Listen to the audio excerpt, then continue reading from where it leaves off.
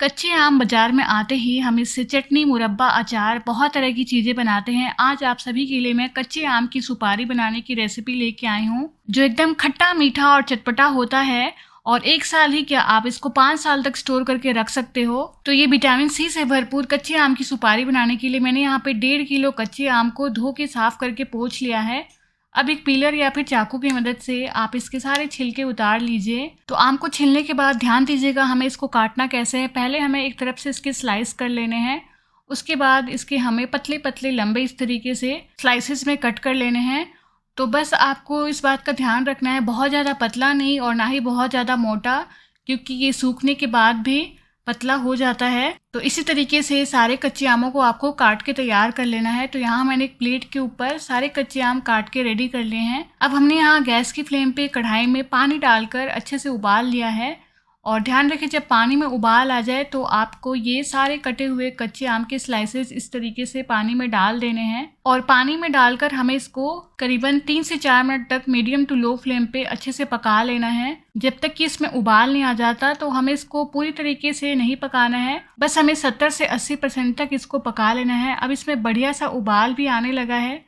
अब इस समय गैस की फ्लेम को बंद कर देंगे। उसके बाद हम एक बर्तन के ऊपर छन्नी रख के इसका जो पानी है सारा, वो हमें छान के अलग कर लेना है। तो इसे छन्नी के ऊपर ही हम कुछ देर रहने देंगे और देखिए मैं आपको नाइफ से कट करके दिखाती हूँ। आसानी से कट हो रहा है और बहुत ज़्यादा ओवर कुक भी नहीं हुआ है। अब एक हमें अलग बर्तन ले लेंगे और इसके अंदर हम ये सारे ब्लांच किए हुए कच्चे आम डाल देंगे। और फिर इसके ऊपर से हमें डालनी है चीनी। तो अभी गरम गरम में ही हम यहाँ पे चीनी डाल दे रहे हैं और जितना हमने आम लिया था ना, उतना ही हमने यहाँ पे चीनी डाल दी है। अब चीनी डालकर हमें इसको अभी मिक्स नहीं करना है, इसको हम ऐसे ही छोड़ देंगे चीनी को अच्छे से फैला के।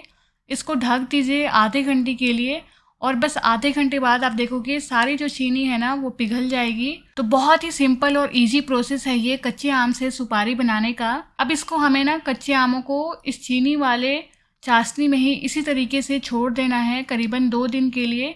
और बीच बीच में आप इसको जब ढक के रखें तो आप एक दो बार इसको दिन में चला लीजिएगा।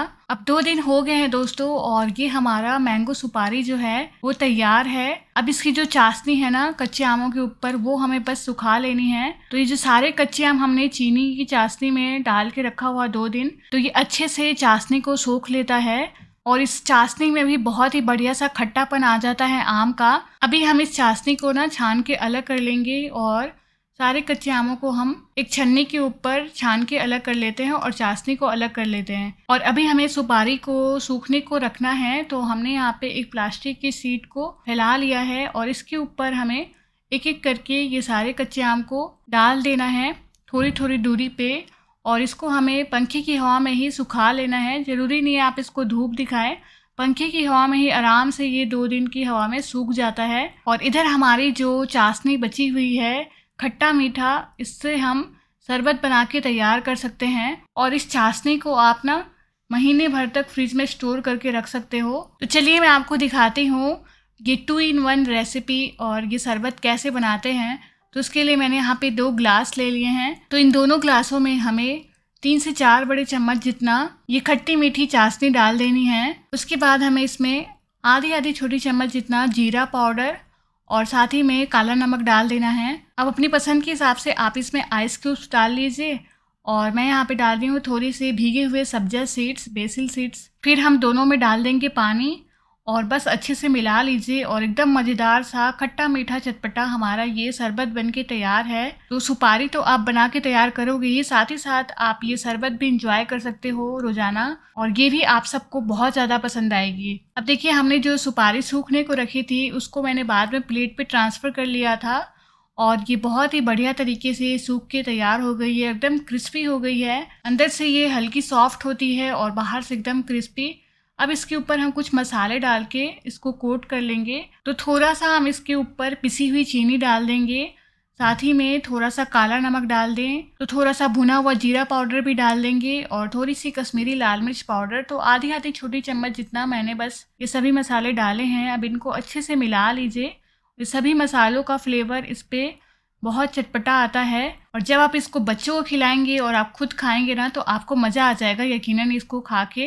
बहुत ही मज़ेदार लगती है। अब आप इसको किसी भी एयर टाइट कंटेनर में स्टोर करके रख लीजिए। सालों साल ये ख़राब नहीं होता है और ये विटामिन सी से भरपूर है, जो आपकी स्किन के लिए, आँखों के लिए और आपकी दांतों के लिए, सभी चीज़ों के लिए बहुत ही ज़्यादा फ़ायदेमंद है। तो इसको ट्राई ज़रूर कीजिएगा। बच्चों को एकदम खट्टी मीठी चटपटी कैंडी जैसी लगेगी। तो ज़रूर बनाएँ और सबको खिलाएँ। आपको मेरी वीडियो कैसी लगी, आप हमें कमेंट करके ज़रूर बताइएगा। आप हमें रेटिंग भी दे सकते हैं एक से लेके दस के बीच में।